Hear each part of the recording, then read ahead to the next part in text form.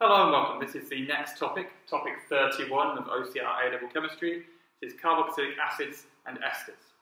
So I'm going to start off just talking about carboxylic acids. They are soluble in water because of their OH bonds, so they make hydrogen bonds with water, which makes them soluble. And they also react as other acids do. So they react with metals to make salt and hydrogen. They react with bases to make salts and water. And they'll react with carbonates to make salts, water, carbon dioxide. But it's a new reaction with carboxylic acids that I want to talk about, and that is the esterification reaction, so making an ester. And I'm going to start off with three ways of making an ester. The first one is carboxylic acids with alcohol, the second is acid anhydride with alcohol, and the third is an acyl chloride with alcohol. And the most usual way of doing this is with carboxylic acids and alcohol, and with that you need an acid catalyst. And on the specification, it gives the example of concentrated sulfuric acid. And in the reaction between this, which is ethanoic acid, and propan-1-ol, what happens is they join together to make an ester bond, which I'll draw in a minute, and they lose water in the process.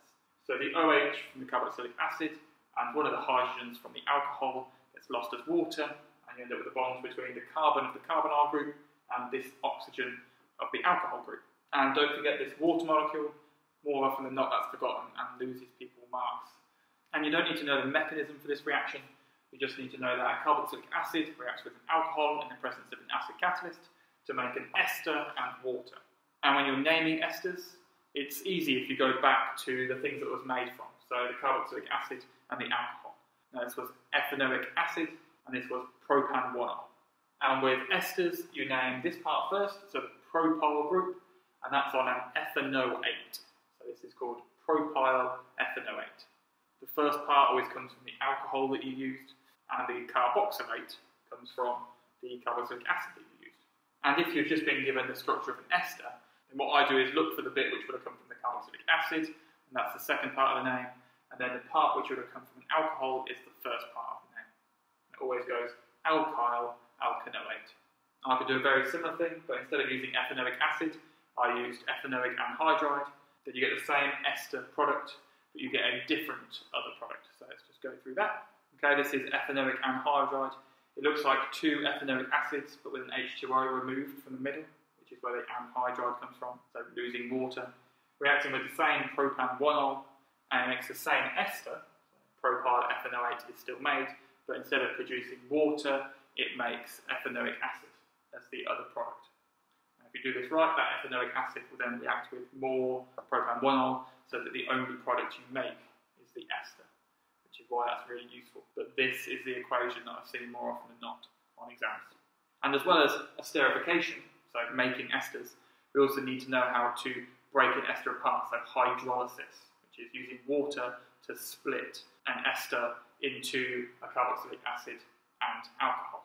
And to do that, you need to heat the ester with either hot aqueous alkali or hot aqueous acid. It needs to be aqueous, obviously, because you're adding water, there needs to be water present, and then the acid and the alkali will both catalyse this reaction in the reverse direction. But if you do acid hydrolysis or alkaline hydrolysis, you get slightly different products. Okay, so what we're doing is taking that ester, I'm using the same one, propyl ethanoate, and then heating it with aqueous alkali or heating it with aqueous acid. And in both cases, you get essentially the same thing, which is the alcohol and the carboxylic acid. But because you're making carboxylic acid, the carboxylic acid will react with this alkali, making a salt, but it wouldn't react with this acid to make a salt. So the products are slightly different in each case. If you do it with hot aqueous alkali, then you get a salt. So this is just hydroxide, it's sodium hydroxide. You get sodium ethanoate as a salt you still get the alcohol and this case and the water that comes from the reaction between the alkali and the acid. But if you use acid hydrolysis, then you end up with the carboxylic acid as a protonated acid. So if you wanted the carboxylic acid out of the top one, you'd need to protonate it by adding acid after you've done this step. The next thing we're going to talk about is acyl chlorides.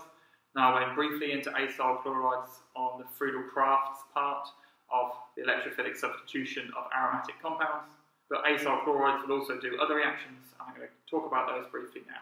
Okay, so to form an acyl chloride, in this case ethanoyl chloride, you react ethanoic acid with SOCl2, and that would produce the ethanoyl chloride. Now, obviously, if you use a different carboxylic acid, you'd make a different acyl chloride. And there are three types of acyl chloride reactions that are on the specification. Now, acid chlorides or acyl chlorides are very reactive. So much so that they will react with water to make carboxylic acids. So you have to be very careful with these reactants, not to put any water near them, because water will react with this to make the carboxylic acid back again. So any hint of moisture and this reaction will take place, making the ethanoic acid and HCl. Now, other than this reaction, they basically react like a carboxylic acid, but just more vigorously. So they will do esterification reactions. If I reacted ethanoyl chloride with propan-1-ol, it will make the same products as ethanoic acid did, and as ethanoic anhydride would do.